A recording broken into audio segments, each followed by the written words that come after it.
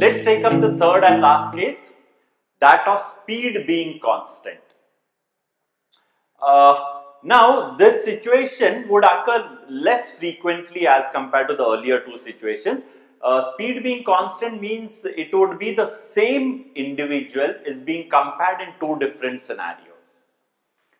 Right? So, he is going to travel at the same speed uh, but but let's say part of a journey at a particular speed he doesn't change his speed but there's another part right? It, it would be more apparent if we do an example. However there are fewer examples of this type and since we have done so many examples of the other two variety i'm sure proportionality as a concept you would have understood yeah? So let's just take one example uh, to look at what i mean. A car traveling in the same direction as an auto overtakes the auto at 9 am, reaches a destination at 12 and immediately turns back and meets the auto again at 1 pm. At what time will the auto reach the destination? So, uh, to capture it in a picture wise format, so I have the car and the car is overtaking an auto in the same direction. So my auto is lower, car is upper, right? And the, this happens at 9 a.m. The car reaches a destination at 12. It immediately turns back and meets the auto again. So the auto is continuing on its journey, meets the auto again at 1 p.m. And the question is at what time does the auto reach the car? So let's look at it. The story, the sort of subject of the story is the car. So making three points that is A, B and C. The car takes from from our earlier chapters, a few of them we would have interested that 9 a.m. and 12 noon is not of importance to us. What is important is the time duration between them. Whenever the data is given in terms of AM, PM, immediately take it into the time interval. So it should come down very clearly for your for the, the, the same car for distance A to C takes 3 hours. Right? And whereas for the distance C to B, the distance C to B, it takes in uh, 1 hour. So it is the same car.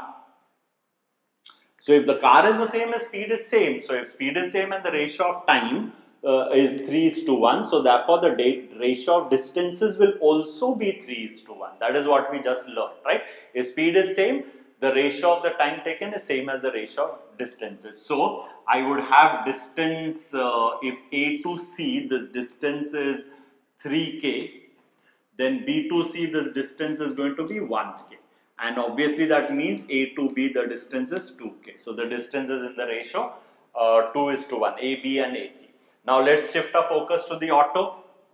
So the auto is at uniform speed. Uniform speed, let's take the distances. What distance are we talking about? A to B and B to C. This distance is in the ratio 2 is to 1. So time taken will also be in the ratio 2 is to 1. The auto takes from 9 a.m. to 1. 9 to 1 is 4 hours. 4 hours out over here. So the auto will take 2 more hours for B to C. So the answer is going to be at 3 p.m. The auto reaches the destination. Proportionality between time, speed and distance goes far more deeper than what we have seen. Some major difficult questions can be done very easily if uh, one understands the concept. It's very difficult for me to make you understand. Yeah, it should happen a little subconsciously. For example, Let's revisit a question of train developing a fault. Yeah, for your uh, recollection, the question is put up again. A train develops a fault and travels at 3 4th of its speed hereafter and reaches its destination 45 minutes late. Had the fault occurred 30 kilometers further ahead, the train would have been late only by 35 minutes, right? The earlier time we found what was the regular speed? What, what if the question was Find the distance from the destination where the fault got developed. Right. So, uh, let's see this. Before I go to the question, let's understand the concept here. This has nothing to do with the question. Just remember, think about it like this. I am at a particular point uh, A and I travel. So this is me traveling along it and I travel to a point B, which I, take, let's say, 60 minutes. 60 minutes because it's a round number, 1 hour and so on.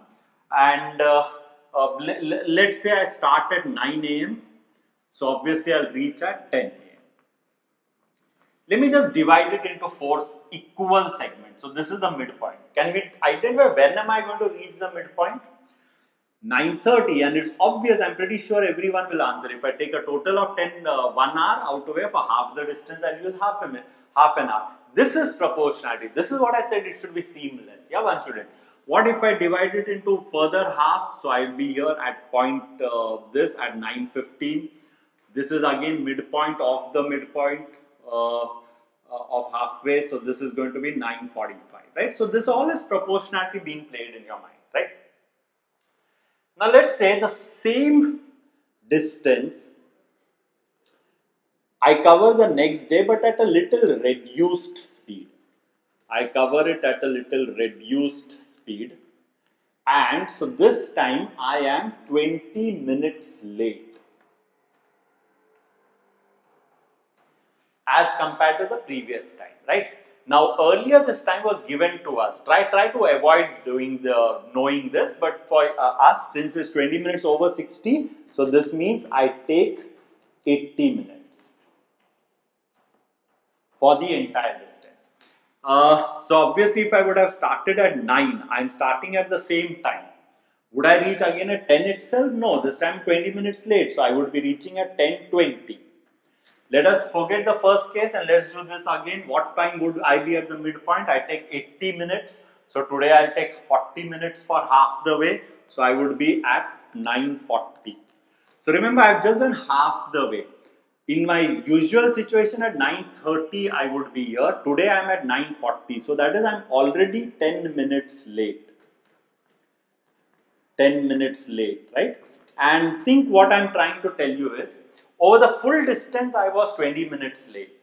So over half the distance, I would already have been late. It's not so that I'm on time, on time, on time. At the last moment, suddenly there's a, a time elapses very fast and I'm 20 minutes late, right? The late, being late starts right from the first step that I take because I'm a little slow, right? So by midway, I'm already 10 minutes late. If you've got the hang of it, what I'm saying is in the one fourth of the way, by the time I reach one fourth of the way, one fourth of the way I'll take 20 minutes. 20 minutes is 920. In the usual situation, I take only 15 minutes. Today I took 20 minutes. So I'm already 5 minutes late. 5 minutes late. And similarly at 3 fourth of it, right? I would be taking 3 4 60 minutes. So I would be reaching here at 10. 10 means 9.45 instead of 9.45 10 that is I am 15 minutes late. So uh, what we were talking about is even if I don't have the 60 minutes and 80 minutes, forget all this out of it. I do not know what time. All I know is I start at the same time. I start at the same time. If I am 20 minutes late, that 20 minutes late, being late itself is going to be proportional to the distance covered. Because it's the same me. Right? My speed is same, uniform. Here also it's uniform, here also it's uniform. It's the same me. Right? I'm not changing, accelerating or decelerating. So the 20 minutes late will be proportionally divided over the entire distance. Half the distance, I'm half late. One fourth the distance, I'm one fourth late let's say the second half of the distance I'm another 10 minutes late. Last one fourth I'm 10 minutes late. What is how much late am I over the middle half uh, from one fourth to three fourth I'm 10 minutes late. I hope you understand this, right? So this is what I mean by proportionality should be very, very subconscious. And if this is true, then the question we are attempting becomes an oral question. I'm going at full speed, I meet, uh, develop a fault, I travel at reduced speed and I am uh, 45 minutes late. Had the fault occurred some distance further, 30 kilometers further, had the fault occurred 30 kilometers further, I would have been late by only 35 minutes. So, uh, I hope you get this. Over this distance, I am late by 35, late by 35 minutes. Whereas over the earlier distance, this I am late by 45 minutes. And since I'm more late, that distance has to be more than this, obviously. And that is the genesis of proportionality. Or more late, more distance, proportionally more. So obviously the distances have to be in the ratio of 45 and 35, that is 9k and 7k. And if that is true, I know the difference given to me, 2k is 30. So therefore, k is equal to 15 and if k is 15, 9k is going to be 135 kilometers, 7k is going to be uh, whatever 905 kilometers. So the fault occurred 135 kilometers from the destination.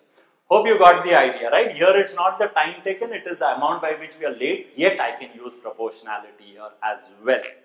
With this, we end this subtopic of proportionality.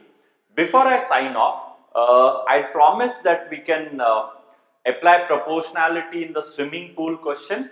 Uh, two people starting from opposite end, they meeting at 96 meters from one end, reaching the other end, turning back, meeting at 48 meters from the other end. What's the length of swimming right? Uh, why I'm doing it, why I'm insisting on the proportionality is, uh, it's not very evident what is a constant, is speed same or distance same or so on. So look and see how in almost every question we can avoid doing an equation and just solve it using a thought process. So here it is. The example was P and Q start from opposite ends, uh, A and B respectively of a swimming pool and meet for the first time at 96 meters from A. They continue, reach the other end and turn back and meet for the second time at 48 meters from B. Uh, the question was find the length of the swimming pool, right? So I recaptured the uh, picture out over here. So A and B, so P starts from A, Q starts from B. They meet first time at 96 meters. Uh, for the second meeting, uh, same A, B, and the second meeting is given to me as 48 from B. I left you with a thought, even if you did not do it at that time, think now. Considering both of them together as one unit. Now it may take some effort for us to understand this, but just consider together and considering both of them together. Whatever A, P does, whatever Q does, I'm going to add them. So A does 96, B does the rest. Together they do one length of the swimming pool. The distance covered in the first meeting from start to the first meeting is 1. Again from the original start, A covers 1, P covers 1 full length. He turns back and is on his way back when he meets the uh, other Q. Q on his part has done the full length. He has turned back and while on his way back he has met P right? So considering the work done or them taken together as a unit, could I say from start till the second meeting they have covered a total distance of 3L? Now they being together, the distances have changed, right? And but they are going at their own uniform speeds. A's speed, B is not changing his speed, Q is not changing his speed. So together, their speeds also is not changing. Speed being constant, time and distance are going to be directly proportional. Therefore, the time for the first and the second meeting is going to be in the ratio 1 is to 3. The ratio of distance is the ratio of time. Mind you, this can work only when both have to reach their ends, turn back and have to meet while they are coming back. Right? Uh, and if this is true, how does the question become an oral without anything? Now, if I know the meeting between first and this, now just consider P. Consider P alone. So, first meeting, he covers 96 meters. So by the second meeting, from start to second meeting, he is going to cover 3 into 96 meters, right? Which is nothing but 270 and 18, 288 meters. 288 meters is 48 is is complete length plus 48. So, which is same as the complete length plus 48 meters. So, obviously the length is 240 meters. Hope you got the idea, right? Again, we are using proportionality, but it has not to do with any one individual, we are considering together, right? So, therefore, I say proportionality is a pretty powerful tool. We cannot exhaust questions on proportionality. In fact, after the whole theory is done, when we solve questions, puzzles or so on, we'll keep using these proportionality formulas. So that's it about proportionality. From this next lecture onwards standard stuff related to relative speed and uh, boats and boats and streams, trains, right? Then all it will be easy.